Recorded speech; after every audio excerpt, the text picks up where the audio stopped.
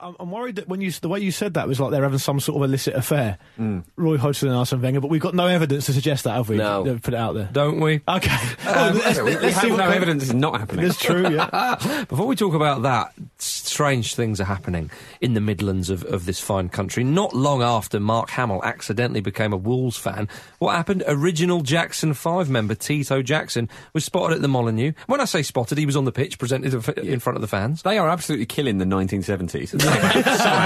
And can I, can I just say because you will get emails, it's Molyneux, not the Molyneux. Sorry, yeah, yeah. yeah. I'm just And it is saving your Tito. skin. I appreciate that. Yeah, yeah. Uh, appreciate that. But it T- is an English stadium despite the name. Tito uh, famously um, fathered, sired, if you will, all three members of 3T. He Did did, it? Is that's that him, true. is it? Yeah, Tito's Okay. Todger. They were all made by that. I knew they were Michael Jackson's nephews, but I wasn't sure which All Jackson Tito, brother yeah. it was. He's, promo- he's promoting his uh, album Tito Time. I listened to a little bit, and to be quite frank, it was in full contravention of my civil rights.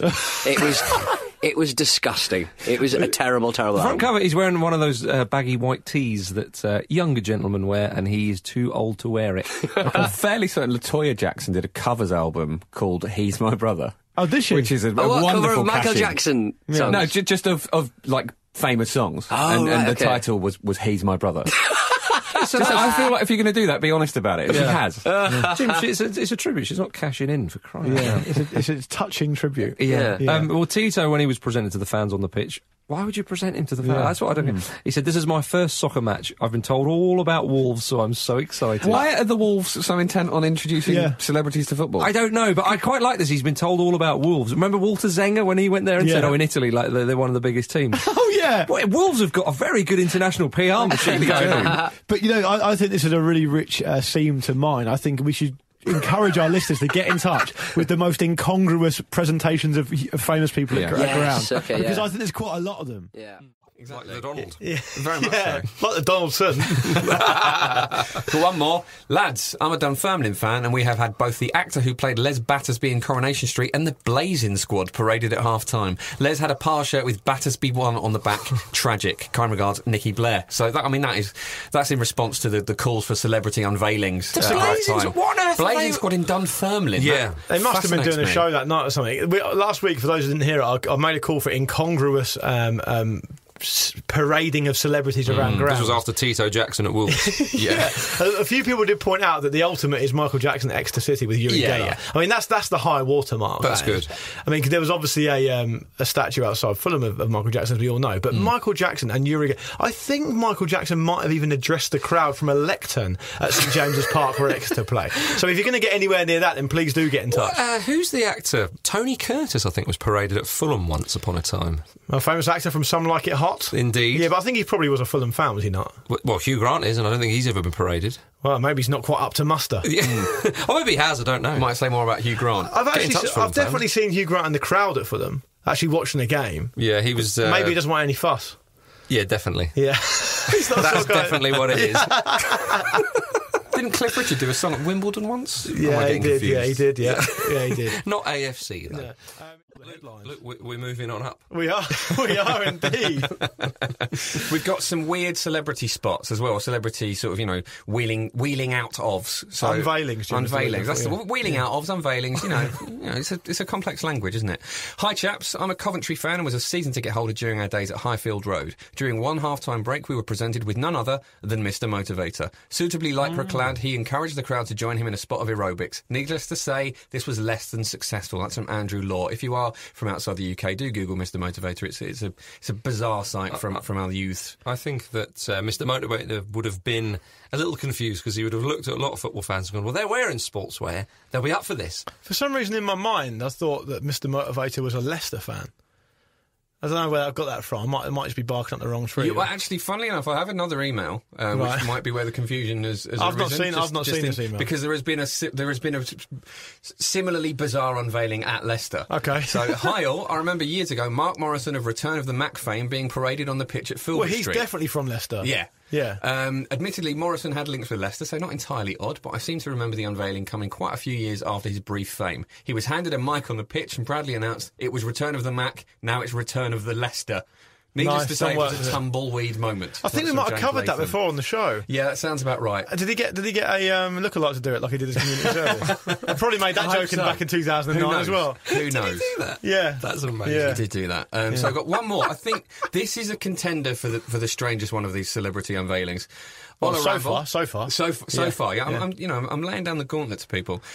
Uh, Ola Ramble, as a Nor- as a Norwich fan, I prefer not to talk about letting famous fans of, uh, on the pitch at half time. Let's be having you. But my hometown Peterborough United once had Iron Mike Tyson after his week long holiday to Peterborough in 2010. He had a lovely old time having a Marks and Spencer's meal deal for lunch every day. But his highlight was parading around London Road in his posh shirt at half time. That's from from Luke Manning. Apparently Tyson was there to do a sort of like evening with yeah, he did. style. A, he did like a book tour, tour, type thing. yeah. I think he was. Strange. I think he was unveiled at a number of different grounds. But you know, Luke's the first guy to get in touch, so Peterborough can claim him. yeah, Peter, Peterborough claim Works for me. Mike. That is extraordinary. We've got to move on from this, Jim. we, we're undermining ourselves. Right, yeah, allow me to segue. So, um, Dominic Foot's been in touch. Um, Wow, footy. Ramblers, about 15 years ago, me and my mate Andy visited the brilliant and beautiful city of Krakow and had an absolute ball. One evening, we decided to take in a game at the local club KS Cracovia. Uh, in a move that took us completely by surprise, during the halftime break, Aston Villa supporting violinist Nigel Kennedy Oh. was unveiled to a quite frankly uninterested crowd. Right. The crowd, and us to be fair, didn't know what to make of it as he stood in the centre centre circle with an Aston Villa scarf tied around his arm, shouted "Go Cracovia!" Then proceeded, proceeded to play ten minutes of music from his new album over an absolutely dreadful tannoy system, public address system. Yeah. It was truly bizarre. I guess we will never know how many albums the famous fiddler sold as a result, but I can I can't help but think it was probably zero. I'd love Yeah. to think that the, the Polish people in the crowd, when he was doing his new album, they're going, old stuff! Yeah, play the hits.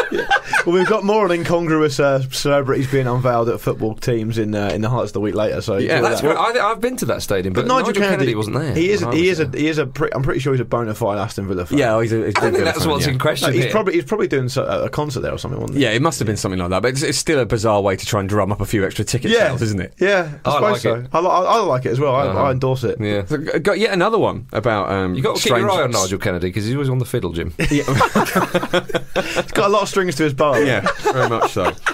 So got some more, got some more of these bizarre um, unveilings. Oh, lovely. This is from Rick Fry. Um, he says, on the recent talk of bizarre slash tenuously linked football ground unveilings, I thought I'd reel off some of my favourites from being a West Ham season to get hold of for 20 years. Oh God, strap yourself in. Right? Is one of them Slaven Bilic? No, I mean, th- th- there's, there are some surprising ones in here, right? Elijah Wood, both during and post Green Street filming. That's That makes good. sense- that makes yeah, sense, That though. makes sense, but it's Yeah. good, isn't it? That's, that's, that's a big Yeah. one. Pixie Lott, last season performing a new single. Louisa Johnson, don't know who that is, sang at Mark Noble's testimonial, and this is a dig. Not sure which bit is more laughable here, right? Yeah. One Pound Fish Man, remember the One Pound Fish Man who No. sort of went viral? Oh, the YouTube guy. Yeah. yeah. So he appeared at half time not only to be introduced but also to perform his viral hit One Pound Fish. Uh, and Stone Cold Steve Austin, Ah, home to you're Fulham in the late noughties after being invited as a guest of Kieron Dyer's. He was unveiled at half time, the reaction amazing. being mixed with apathy and humour. That's from Rick Fry. That's magnificent, isn't it? Absolutely magnificent. What a mixed bag. That's fantastic. You keep those coming in. Yeah. I, th- I think show at thefootballround.com. That's great. We've got some more coming up in the highlights of the week, but I'll leave them in there for now. Absolutely Um, superb. It's, it's a real, it's a rich, it's a rich uh, seam to mine. That is. I think. We've sort I of don't, I don't know who Louisa Johnson is. I'm not sure, but I just like the Mark Noble dig, so I, wanted, I wanted to read it. You think it, you'd think something like Stone Cold, Cold Steve Austin being unveiled at West Ham would be something just everyone remembers. There's so many of these that are so strange. Um, it's quite West Ham for a 20 year long season ticket holder to be having a pop at the captain and for having a testimonial. I, mean, what- I don't understand what the, what the motivation for that is. My goodness. I don't know, to be Okay, honest. let's Let's, find let's, out. let's find out, shall we? Uh, this is from embarrassed Geordie Ewan. You guys have been talking uh, about um, embarrassing halftime presentations. I think I was there for that uh, particular ramble. Um, I thank myself that my beloved Newcastle United never had one. I mean, what I would say is we did have that plane. Uh, Newcastle United did have that plane. I- No, but it wasn't on the pitch. We were No, talking about presenting. It's over the I'm pitch, not. innit? Listen, I am not having this. I'm not an expert on this situation on this subject, but let me tell you now. I would be very, very surprised, to say the least, Hmm. if Newcastle United and all their Premier League history haven't unveiled someone ridiculous at half Oh, of course it will. Of course, of course. But anyway, um, uh, of course, after uh, be, you know uh, thanking himself that his beloved Newcastle United had never had one, or, or, or at least since he he's been knows, yeah. attending. Um, of course, at the very next home game, this weekend's match against Liverpool, there was an embarrassing half-time presentation. With it being Freshers Week, and this uh, Newcastle being a two-university city, there are rather a large amount of uh, students in the city. Mike Ashley decided it was a good idea to have students from around the world who were attending the city's higher education establishments to partake in a penalty shootout. I don't think Mike Ashley was involved in the genesis of this idea, surely. He probably doesn't know what a university is. There were Oh, representatives hmm. from countries such as Vietnam, Nigeria, Ghana, and Senegal. I couldn't quite make out what flag uh, which was. Um, this being Newcastle, things went quickly wrong. An Indian chap decided to take shots from the behind the main group. we we booed a German competitor. Oh, my goodness. And then uh, the man who presents the halftime entertainment began encouraging the fans to chant "Get 'em off" at the students. Oh, Jesus. It was a truly shambolic display. You should be embarrassed, Ewan, and I'm pleased you are. So thank you, embarrassed Geordie Ewan. We, we won't shoot the messenger on this occasion. though. Yeah, Was, uh, it, was the dizzy stick involved? I don't know. That but- is a but that, that is maybe a that- Fratton Park special. yeah. Maybe the Indian guy had just hit Freshers Week massively, like had just been drunk out of his mind. Where's the goal? I'm having a crack. You'd imagine, I'll tell you what, going on the piss with Mike Ashley, you'd imagine you'd have to do the dizzy stick before going to the bar. Yeah. And obviously, Right by the fireplace. Exactly. If you Yeah. feel sick, in at the fireplace. Uh, The way the Perilous. way Portsmouth played at the weekend, they don't deserve anything after that. Uh, Gareth Stobart says uh, celebrity unveilings at half time. Yeah. Uh, at Lewes FC, we had uh, Arthur Brown, the old fire loving musician. That's Lewes, I think. Yeah. Is it Lewes? Sorry, L E Lewes. W E S. Lewes. Yeah. It's it's around London somewhere, is that? No, No, it's it's, near near Brighton. Brighton. It has Yeah. the highest concentration of pagans in the UK. There you go. Didn't That's why. Arthur Brown was there then. The Yeah, crazy world make of Arthur yeah. Brown. Is- Was he a pagan? Might they look like one. He had a blood of had He had fire, fire in his head. He'd, he'd be welcome there. Yeah, a fire in his head. But he said uh, he came on the pitch in his old outfit and duly set fire to himself. This must. this must. This must have been, this must have been something for the many kids that get in for free to basically see to basically see a pensioner setting himself on fire. When there is nothing left to burn, you must set yourself on fire, as a man once said. What they must have thought was You know- going on. You know Self immolation. You know who Arthur Brown is, Marcus, right? yeah, yeah. Yeah, right. Fire! I'll teach you to burn. It's a banging track, that, isn't it? I mean, it's, it's, it's, it's funny that he's had a career as long as he has, given that his unique selling point is literally setting himself on fire. Uh, uh, I hope have he never does, and I hope he never tries to set himself on fire when he's around Kevin Keegan. Wow. No, well, We all know what would happen What do you there. think? Well, the fire would just suck off of him. Oh, Terry McDermott, a lot of hairspray. So, uh, hello to uh, Michael as well. He says Sugar Ray Leonard uh, at Oh, a uh, Sunderland match. That's that's a, that's a, one. that's a big celebrity at a, But- at, a at a big club. Yeah, that, that's very good. American boxers particularly have got a great they do a great line in being unveiled in whatever football team of the town they're, they're fighting in Yeah. and they always wear the shirt so th- you, you'll see if you're not careful you'll probably see American boxers who support about eight different clubs Oh, yeah, yeah. Uh, a lot of shouts. I mean, our inbox was full of uh, the weekends going on with, uh, with O'Dean, Callum, Sean in Aberdeen, and about a million other people. Uh, Coolio at Celtic Park. I think we all saw that. Well, I was didn't about we? to say, I saw once when I was in uh, the Netherlands. I happened to be there when the. He's kind of like what would it be called? Like the European. Uh, but when American Aguero broke his arm you were there I was there. I was driving. oh an you Uber. mean the European Football League of, of oh, Like an- NFL type thing Yeah, exactly. Yeah, and uh, uh, my mates and I, we thought, oh, why not? Hey, we're, we're we're here. We might as well go along. And at half time, Coolio did the uh, did the performance. Did he? What was the story behind Coolio at Celtic Park? I think he's friends with whoever he was in. Brendan Rodgers? Yeah, definitely. Whoever he was with, Celebrity. Br- He was Bren- in Celebrity- Brendan Rodgers. He, he was in Celebrity Big Brother with a footballer who I think played for Celtic. So I think Right. he became friends. Never saw it. And s- for some reason, he uh, well appeared at um, at halftime at Celtic Park uh, to to Gangsters Paradise. Obviously. belted out on the uh, on the There old uh, on the old PA. it could well be that he's just involved in a local boxing match. Well, he, well, he was wearing he was wearing a cap. Uh, Coolio's gone full um, bald eagle, Jim Smith. right okay But he, he he refuses to let go of those tight little dreads. He's Yeah. refusing to let go. There's sort of these weird kind of trees coming. a bit out like of the side of Taribo. West Yes, Yeah, yes, okay, yeah. right. Give All him- well, give him the ghost. more power to his elbow. Listen, Yeah. when it comes to Coolio, it's better to be a one-hit wonder than a no-hit wonder. Mm. Quite. Uh,